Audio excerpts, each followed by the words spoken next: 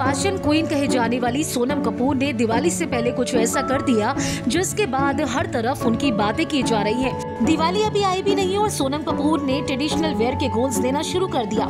इस बार वो अपने फैंस के सामने एक ऐसे अवतार में आई है, जिसे सोचने के बारे में, जिसे करने से पहले एक आम आदमी सौ बार सोचेगा। अब सोनम कपूर ने दिवाली से पहले कुछ ऐसा कर दिया है, जिसके बाद लोग उनकी तारीफें करते नहीं थक रहे हैं। सोनम कपूर ने इंस्टाग्राम पर कुछ पिक्चर्स को शेयर किया है, जिसमें आप उन्हें मट कलर के लहंगा सेट में देख सकते हैं। लेकिन यहाँ पर एक छोटा सा ट्विस्ट है। उन्होंने लहंगा तो भले ही प्योर फैब्रिक से बना पहना था, लेकिन इसके साथ जो उन्होंने ब्लाउज पहना, जो उन्होंने चोली पहनी है, वो दरअसल कपड़े की नहीं, बल्कि मिट्टी के साथ मिलाकर बनाई गई है।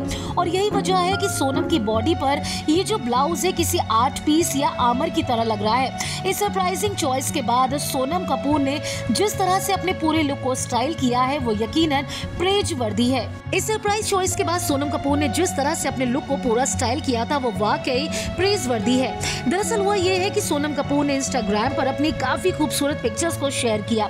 इन फ़ोटोज़ को उन्होंने दिवाली से पहले अपने इंस्टाग्राम पर डाला। Sonam Kapoor off shoulder corset style की फिट वाले ब्लाउज में नज़र आ रही है। इस पीस को कर्नाटक की लाल मिट्टी, मुल्तानी मिट्टी पेपर मैश और खादी से मिलाकर बनाया गया है।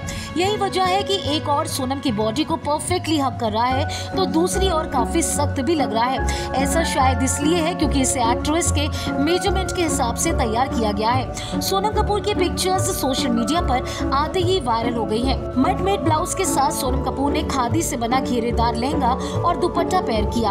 ओवरऑल प्लेन सेट में बॉर्डर पर गोल्डन पट्टी लगाई गई है, जो उसे और भी ज़्यादा खूबसूरत बना रही है। ये लहंगा इंडिया की नामी फ़ैशन डिज़ाइनर जोड़ी अबू जानी और संदीप खोसला के कलेक्शन से लिया गया।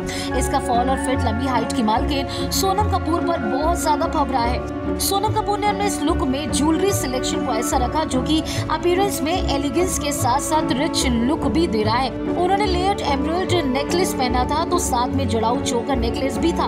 उनके कान में इससे मैच करते हुए स्टड्स थे तो वहीं हाथ में मैचिंग रिंग्स भी नज़र आई।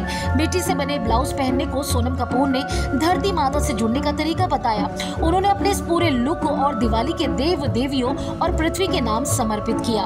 अगर आपने फिल्मी बीट को अभी तक सब्सक्राइब नहीं किया तो कर लीजिए।